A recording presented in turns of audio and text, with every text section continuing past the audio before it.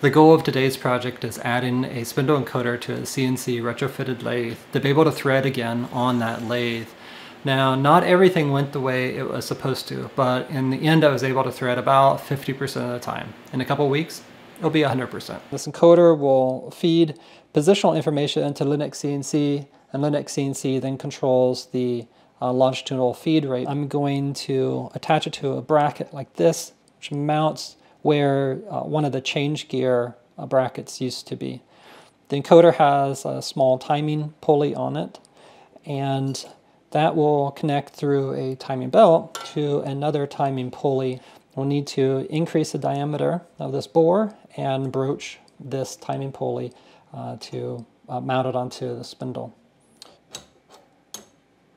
Originally this lathe had a big nut on the end that held all of the pulleys in place and I changed that, removed that, and made the spider. Um, what a spider is, is if you have a shaft that's going through the bore, you can tighten these screws down and hold the shaft centered in the bore so it's not flopping around.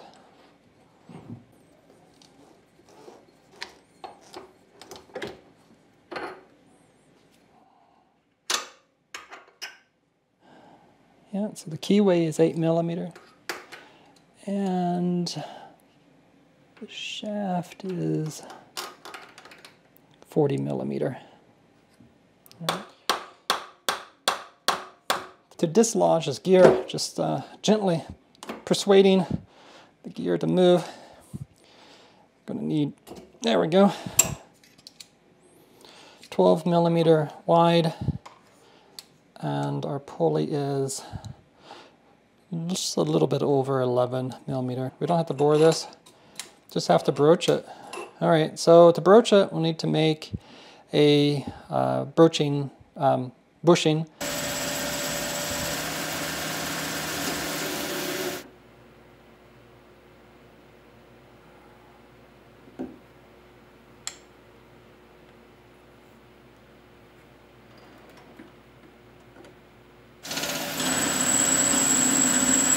slot needs to be cut that will guide the broach. This is C-style broach, so the width of that slot is 3 eighths of an inch, but the depth of the slot is controlled by the diameter of the uh, bushing. I've modeled the bushing as a circle of 40 millimeters, and the profile of the broach as being two rectangles, one being 8 millimeters wide, that's the cutting portion, and the other rectangle being 3 eighths of an inch wide, and that's the guide portion. Now everything's aligned to the 12 o'clock uh, point, and to calculate the depth, I measure from the apex to the bottom of the slot. And this is a driven dimension uh, because of the constraint uh, that the cutting portion has to touch the uh, bushing. And see, as I change the diameter, so does that driven dimension. So in this case, the slot needs to be cut 15 millimeters deep from where I'll touch off and 3 eighths of, a mil, uh, 3 eighths of an inch wide. I'll take uh, very shallow cuts as I'm uh, making this slot so that I can use a 3 eighths inch end mill.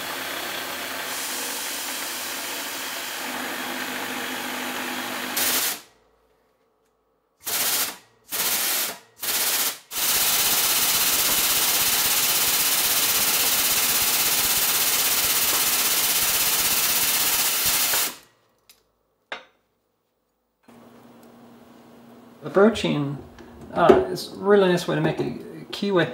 There's no play whatsoever to have clearance for this timing Well, This bracket has to be cut. Some of the guys watching this will appreciate when I say that face shields are really important for grinding, but so is a good hat. This bracket was printed on a 3D resin printer, and resin printers are fantastic for getting great detail but the prints are brittle. Dimensionally, they're pretty good compared to the FDM printers that I've used. Uh, I can hit a, a, dimension a lot easier on the resin printer. The 3D print helps me to see what I like and dislike.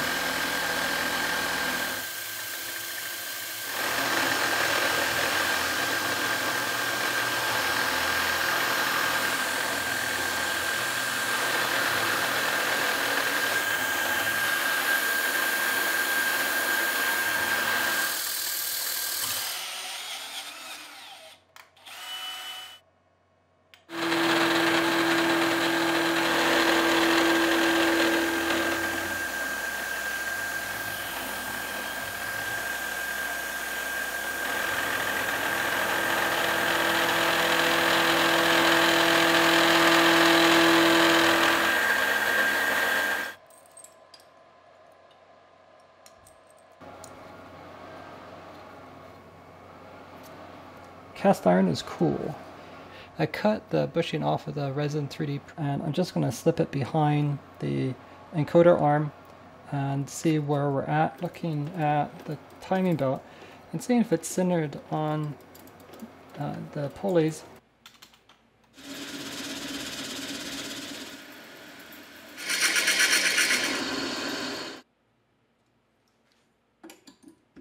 The cap head screw goes through there and recesses into this feature. The encoder is recessed into this feature and then there are button head cap screws that are recessed behind the pulley and then the bushing goes on the back of the arm. A little bit of tension needs to be placed on the timing belt but the encoder won't tolerate much side load.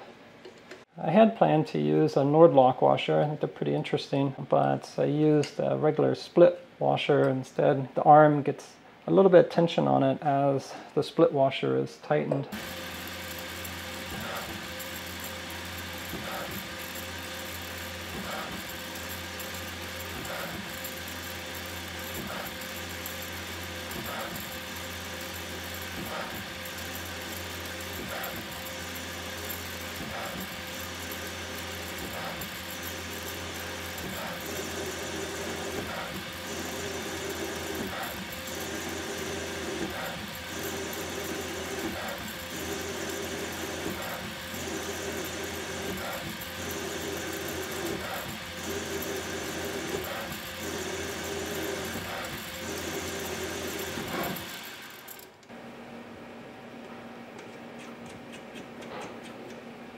Ah, that's beautiful.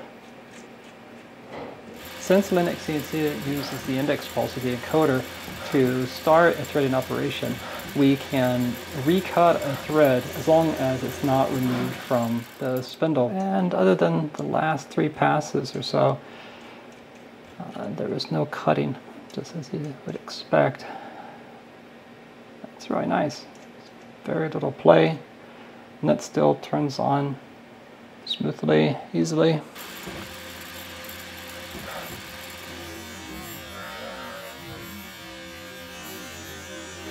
Okay, I'm to stop it right there so this isn't entirely destroyed. I had a lot of trouble figuring out why this was happening. The threading operation would complete, but the threads didn't look quite right, and the nut wouldn't turn on. I have a 72 tooth pulley on the spindle and a 36 tooth pulley on the encoder. So for every rotation of the spindle, there's two rotations of the encoder. There's two index pulses per rotation of the spindle.